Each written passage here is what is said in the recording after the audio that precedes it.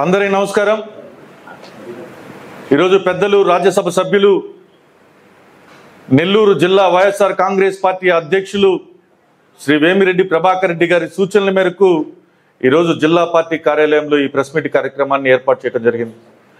అయితే ముఖ్యంగా నన్ను వైఎస్ఆర్ కాంగ్రెస్ పార్టీ కుటుంబంలోకి స్వాగతించినటువంటి పెద్దలు వేమిరెడ్డి ప్రభాకర్ రెడ్డి గారికి మా జనసేన పార్టీలో పనిచేసి ఈరోజు నన్ను నమ్మి నాతో పాటు నెల్లూరు కార్పొరేషన్ పరిధిలో ఉండేటటువంటి ముఖ్యమైన నాయకులందరూ కార్పొరేటర్లుగా పోటీ చేసినటువంటి వ్యక్తులు మహిళలందరూ కూడా ఈరోజు వైఎస్ఆర్ కాంగ్రెస్ పార్టీలో చేరి చాలా తృప్తిగా చాలా హ్యాపీగా ఉన్నారు. ఏదైతే పెద్దలు రాజ్యసభ సభ్యులు విజయసాయిరెడ్డి గారి ఆధ్వర్యంలో నేను పార్టీలో చేరటం జరిగింది. అదేవిధంగా జిల్లా మంత్రివర్యులు కాకాని గోవర్ధన్ రెడ్డి గారు నేను పార్టీలో చేరేటప్పుడు ఆయన మాట్లాడినటువంటి మాటలు చాలా తృప్తినిచ్చాయి చాలా ఆనందాన్ని ఇచ్చాయి అదేవిధంగా ఎవరైతే నేను పార్టీలో చేరేటప్పుడు ఎంపీ గురుమూర్తి గారు అదేవిధంగా కిలివేటి సంజీవే గారు అదేవిధంగా వైఎస్ఆర్ కాంగ్రెస్ పార్టీలో ఉండేటటువంటి నాయకులందరూ సహకరించిన నాయకులందరికీ పేరు పేరున ధన్యవాదాలు తెలియజేసుకుంటా ఉన్నాను. ముఖ్యంగా ఈరోజు వేమిరెడ్డి ప్రభాకర్ రెడ్డి గారు నెల్లూరు లోక్సభ ఎంపీగా పోటీ చేస్తూ ఉన్నారు. జగన్మోహన్ రెడ్డి గారి ఆదేశాల మేరకు. అయితే ఇప్పటికే వేమిరెడ్డి ప్రభాకర్ రెడ్డి గారు ఏ విధంగా జిల్లాలో అనేకమైనటువంటి సంక్షేమ కార్యక్రమాలకి ఆయన స్వీకారం చుట్టినటువంటి విషయం ప్రతి ఒక్కరికి కూడా విదితమే. తాగునీటి సమస్యని జిల్లా వ్యాప్తంగా కొన్ని వందల వాటర్ ప్లాంట్లు ఆయన సొంత నిధులతో ఏర్పాటు చేయటం జరిగింది. నిరుపేదలకి మెరుగైన విద్య అందించాలని చెప్పి విపిఆర్ విద్యతో ఏ క్లాస్ ఎడ్యుకేషన్ని ఏ విధంగా ఈరోజు అందిస్తున్నారో మీ అందరికి కూడా తెలుసు. అదేవిధంగా దైవం పరంగా దైవాంశం పరంగా అన్ని మతాలకి సంబంధించినటువంటి దైవ కార్యక్రమాలకి ఆయన వంతుగా ఎంతో ఆర్థిక సహాయాన్ని అందిస్తూ ఉన్నారు. కాబట్టి ఆయన చేసినటువంటి మంచి పనులు అదేవిధంగా జగన్ రెడ్డి గారు చేసినటువంటి మంచి పనులు సన్నకారు ఓటర్లకి అందుతున్నటువంటి సంక్షేమ పథకాలే ఈరోజు ఎప్పుడు ఎలక్షన్ జరిగినా వేమిరెడ్డి ప్రభాకర్ రెడ్డి గారు నెల్లూరు లోక్సభలో అత్యధిక మెజార్టీలో గెలుస్తారు.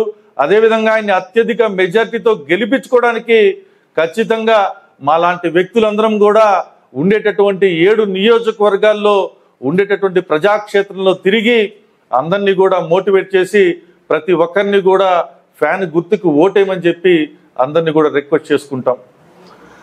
అయితే ఈరోజు మనం చూస్తా ఉన్నాం ఏ విధంగా రాష్ట్ర వ్యాప్తంగా ప్రజాక్షేత్రంలో జగన్ రెడ్డి గారు ప్రజలకి అన్ని సంక్షేమ పథకాలు అందాల why not one seventy five by why not one seventy five అనేటటువంటిది ఎందుకు కాదు అంటే ఈరోజు ఖచ్చితంగా అది నెరవేరేటటువంటి పరిస్థితి మనకు కనిపిస్తూ ఉంది. ఎందుకంటే ఇంత దూరం నేను ఎందుకు మాట్లాడుతున్నాను అంటే నేనేదో వైఎస్ఆర్ కాంగ్రెస్ పార్టీలో చేరాను. వైఎస్ కాంగ్రెస్ పార్టీలో చేరిన తర్వాత ఇదే విధంగా మాట్లాడతారని చెప్పి చాలామంది కూడా అనుకుంటారు. కానీ వాస్తవానికి కొన్ని విషయాలు తెలియజేయాలా? ఈరోజు జనసేన పార్టీలో నుంచి నేను ఎందుకు బయటకు వచ్చాను? వైఎస్ఆర్ కాంగ్రెస్ పార్టీలో ఉండేటటువంటి విధి విధానాలు ఏ విధంగా ఉన్నాయంటే ఎలా తెలుసుకున్నానంటే ఒకరితో నాకు సంబంధం లేదు ఒకరు నాకు చెప్పాల్సినటువంటి అవసరం లేదు. ప్రజాక్షేత్రంలో రెండు వేల పంతొమ్మిదిలో నేను ఓడిపోయిన నాటి నుంచి ప్రజాక్షేత్రంలోనే తిరుగుతూ ఉన్నాను. అయితే నేను గడప గడపకి నేను గడప గడపకి ఏదైతే నెల్లూరు సిటీ నియోజకవర్గంలో ఉండేటటువంటి ఇరవై ఎనిమిది డివిజన్లు అన్ని ప్రాంతాలు ఐదో అంతస్తులో ఉన్న మిద్దికి కూడా ఎక్కి ప్రతి ఒక్కరికి కూడా నేను చూడటం జరిగింది. ప్రతి ఒక్కరు కూడా వాళ్ళందరూ కూడా ప్రస్తుతం ఉన్నటువంటి పరిస్థితుల్లో కొంతమంది బాధపడుతున్నా ఎవరు కూడా మేము వైఎస్ఆర్సీపీకి ఫ్యాన్ గుర్తుకి ఓటు వెయ్యమని మాత్రం ఎవరు అనలేనిది ఖచ్చితంగా అందరూ తెలుసుకోవాలి. అయితే ఈరోజు జనసేన పార్టీలో నా ప్రస్థానంలో ఉండేటటువంటి నూట డెబ్బై ఐదు నియోజకవర్గాల్లో ఓడిపోయిన తర్వాత నాలాంటి కొంతమంది వ్యక్తులు పవన్ కళ్యాణ్ గారిని ముఖ్యమంత్రి చేసుకోవాలి. పవన్ కళ్యాణ్ ముఖ్యమంత్రి చేసుకోవాలి అనేటటువంటి ఆతృతతో ఎంతోమంది కూడా నాలా కష్టపడ్డారు. నేను పనిచేసింది పవన్ కళ్యాణ్ గారి కోసం పనిచేశాను. కానీ ఈరోజు దారుణం దుర్మార్గం ఏంది అంటే పవన్ కళ్యాణ్ గారి చేతిలో పవన్ కళ్యాణ్ గారి పార్టీ లేదు.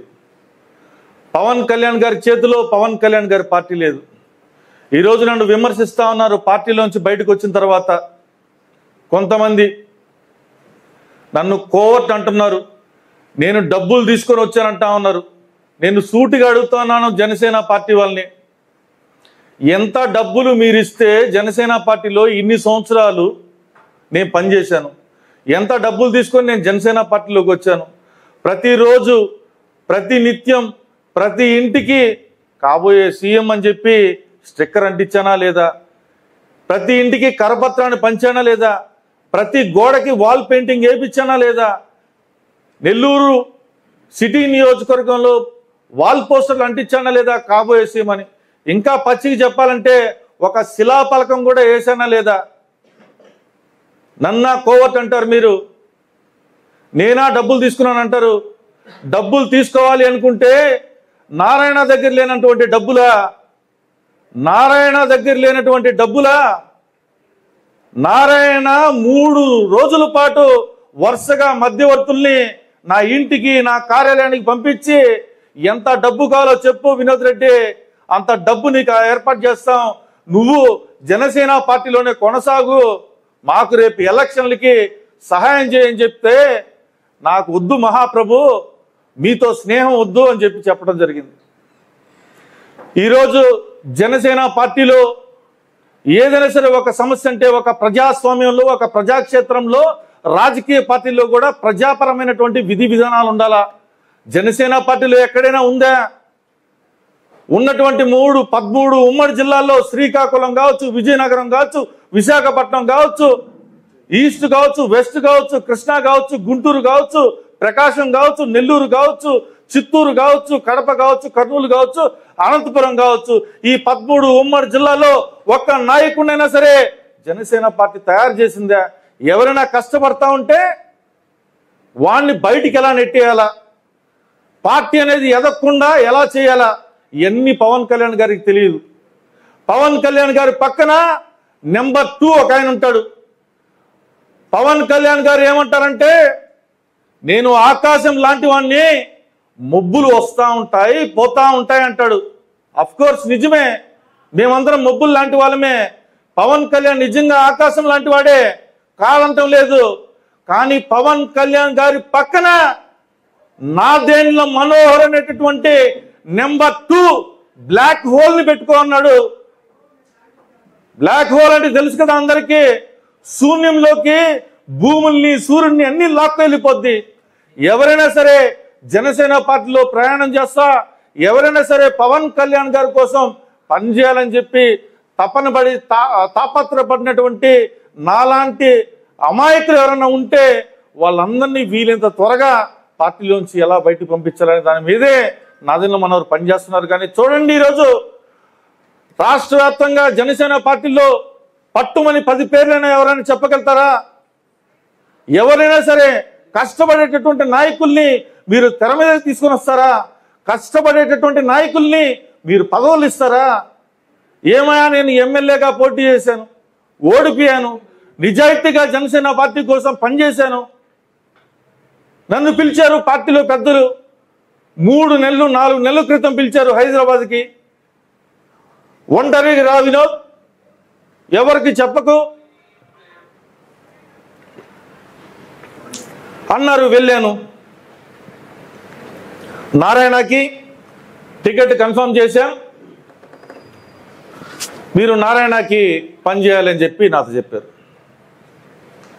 నేను అప్పటికి కూడా పార్టీ మీద నిజాయితీగానే తల వంచుకొని మీరు ఎలా చెప్తే అలాగ సార్. మీరు ఎలా చెప్తే అలాగ సార్. నారాయణకి పని చేస్తాను సార్.